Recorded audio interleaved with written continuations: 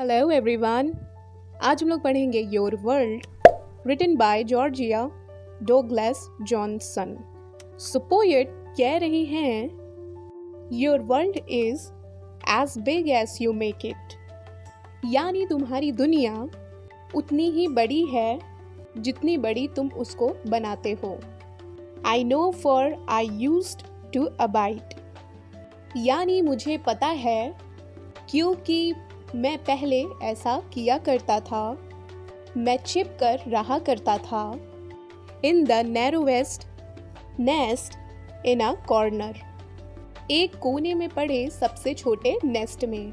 My wings pressing close to my side और जो मेरे पंख थे ना, वो मेरे बगल में थे। बिल्कुल सटे हुए। यानी कभी भी मैंने अपने पंख तक नहीं फैलाए। सो so, इस पोयम में एक बर्ड के बारे में बताया जा रहा है। तो ये जो पोएट है ना जो नरेटर है वो अपने आप को उस बर्ड से कंपेयर कर रहे हैं। तो यहाँ पोएट कह रहे हैं कि जो बर्ड है ना उसकी दुनिया कैसी होती है? उसकी दुनिया एक छोटे से नेस्ट में होती है कि वहीं पे वो पैदा होता है वहीं पे वो रहता है। तब तक उस नेस्ट में रहता है जब तक वो आसमान में उड़ान ना भर ले। और उस बर्ड के पंख उसके पास में रहते हैं। कभी भी उसने फैलाए नहीं हैं। और वो बर्ड ना नेस्ट को अपनी ही पूरी दुनिया मान लेता है। But I sighted the distant horizon लेकिन मैंने दूर से उस हॉराइजन को देखा। Where the skyline encircled the sea जहाँ जो आसमान का जो छोर था, वो समुद्र में जाकर मिल जाता था।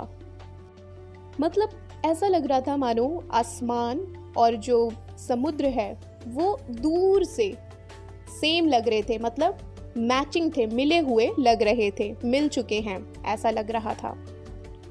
And I throbbed with a burning desire और मेरे अंदर एक बर्निंग डिज़ायर थी मेरे अंदर ये चाहत थी मैं ये करना चाहता था और ये जो मेरी डिज़ायर है, ये मुझे ना परेशान कर रही थी।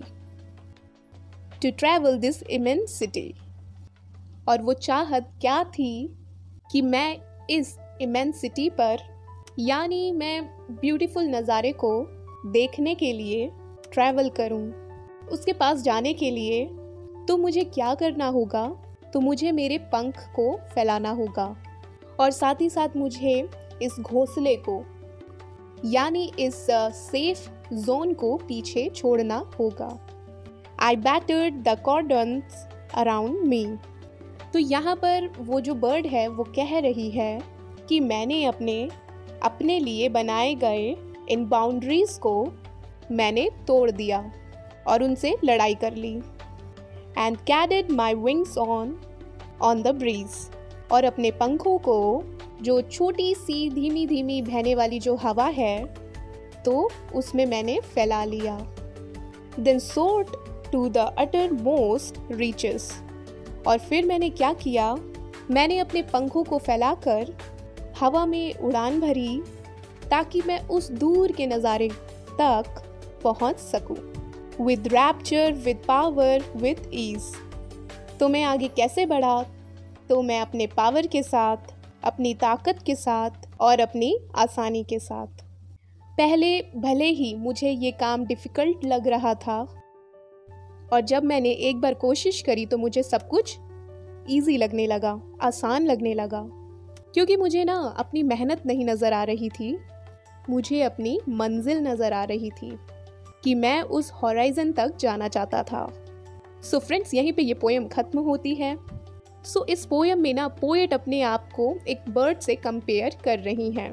ये बताते हुए कि एक चिड़िया जब तक वो अपने घोंसले से बाहर नहीं निकलती, पंख नहीं फैलाती तो तब तक वो न्यू, नई ऊंचाइयों को छू नहीं सकती। ठीक उसी तरह ह्यूमन बींग्स को भी मतलब इंसानों को भी अपने सेफ़ जोन से बाहर निकलना पड़ेगा।